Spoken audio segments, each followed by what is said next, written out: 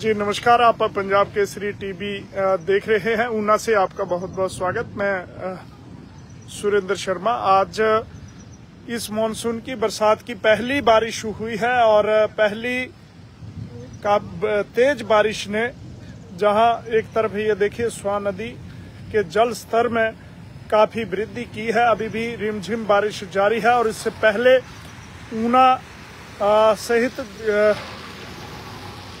आसपास के सभी गाँव में आ, काफ़ी नुकसान की खबरें लगातार मिल रही हैं। ऊना से लगातार खबरें खबरें नुकसान की आ, मिल रही है और कई घर हैं स्कूल हैं जो पानी से पूरी तरह से भर चुके हैं क्योंकि आज संडे है ऐसे में आ, बच्चे तो नहीं स्कूल आएँगे लेकिन काफ़ी स्कूल है शिक्षण संस्थान है जहाँ पे पानी भरा है। डीसी ऑफ़िस के पास पर्टिकुलर पूरा एरिया है जो जलमग्न हुआ है और काफ़ी नुकसान की खबरें लगातार मिल रही हैं। ये देखिए, स्वा नदी में पहली बार ये जल स्तर में वृद्धि हुई है। तो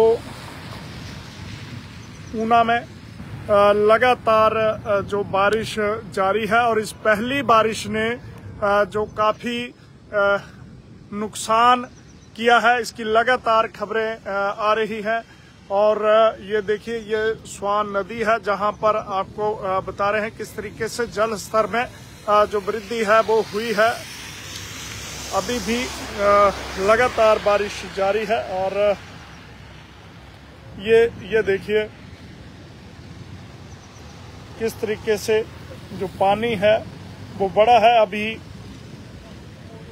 बताया जा रहा है कि ऊपरी के क्षेत्रों में बारिश हुई है। ऐसे में ये और जल स्तर जो है, वो बढ़ेगा और उससे काफ़ी जो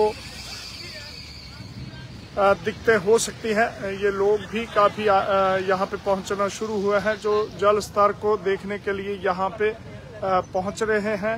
ऊना हरोली रामपुर पुल है। ये देखिए, बादल छाए हुए हैं, बारिश हो रही है और काफ़ी नुकसान की खबरें हैं। अभी धीरे धीरे और दूसरी तरफ़ बात करें तो ऊना जिला की के प्रसिद्ध धार्मिक स्थल शक्तिपीठ चिंतपूर्णी में व्यवस्थाएँ पूरी तरह से चरमरा गई हैं खराब हो गई हैं लाखों की संख्या में श्रद्धालु पहुँचे हैं। उनके अ, कहीं भी आश्रय स्थल नहीं है उनके लिए बारिश में दर्शन कर रहे हैं और लाइनों में लगे हैं।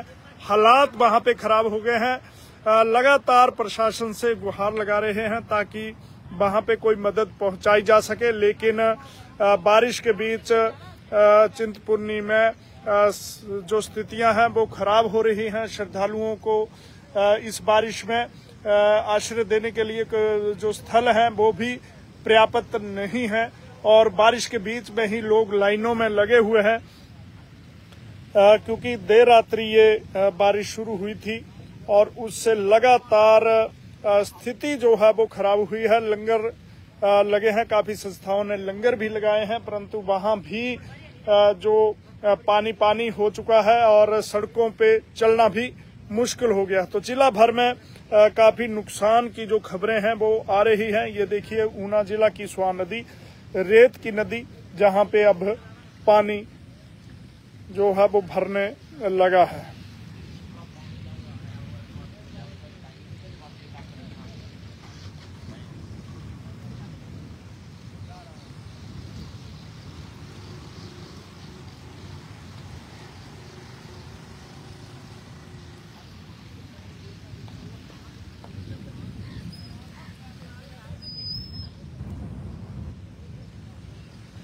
ऊना का स्वा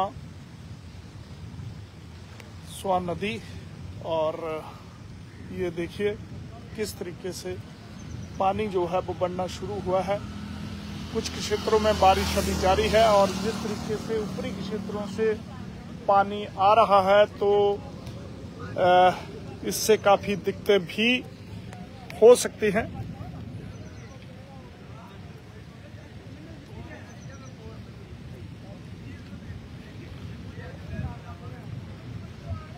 ये देखिए क्योंकि अगर बात करें इस मानसून की तो एक तरीके से सूखा था पूरा का पूरा जुलाई सूखे में चला गया ड्राई चला गया फ़सलें खराब हो गई और बारिश एक, एक दो दिन आ, कभी आ, एक जगह कभी दूसरी जगह रिमझिम बारिश हुई लेकिन पर्याप्त बारिश न होने के चलते आ, जो किसान थे वो भी परेशान थे लेकिन ये आज की बारिश ने सब जलमग्न कर दिया है। काफ़ी नुकसान की लगातार खबरें आ रही हैं और सड़कों पे पानी है, घरों में पानी है, कुछ स्कूलों में पानी चला गया है और अभी फिर से तेज बारिश शुरू हो चुकी है, लाइट गुल हो चुकी है, लाइट जो नहीं है और ऊना में जो स्थितियाँ हैं वो पहली बारिश से ही खराब होने लगी है। सबसे बड़ी दिक्कत धार्मिक स्थल चिंतपूर्णी में है, जहाँ मेले चले हुए हैं। लाखों की संख्या में श्रद्धालु पंजाब से चिंतपूर्णी पहुँचे हैं और इसी बीच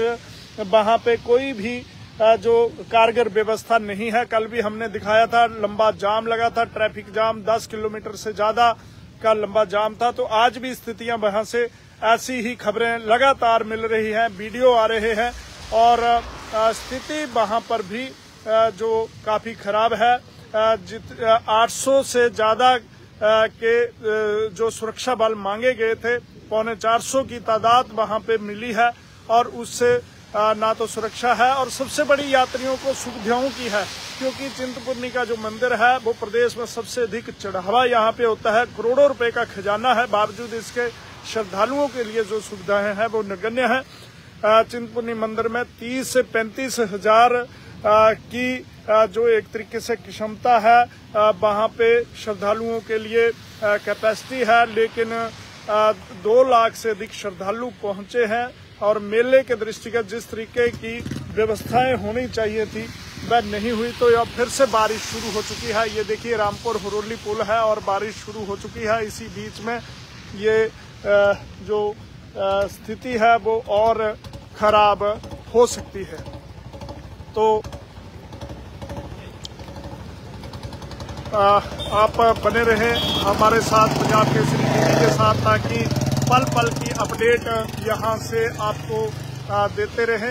और कहाँ कहाँ क्या क्या स्थिति है, इसको लेकर भी आपको अवगत कराएँगे। कल भी आपको पूरी जानकारी चिंतपुर्णी से दी गई थी, किस तरीके से श्रद्धालुओं को दिखते आ रही है। और एक बार फिर से बता दें कि ऊना में भारी बारिश से हर तरफ़ जल में, जल प्रलय जलमगन हुआ है, स्कूलों में, घरों में और कुछ दुकानों में पानी चला गया है।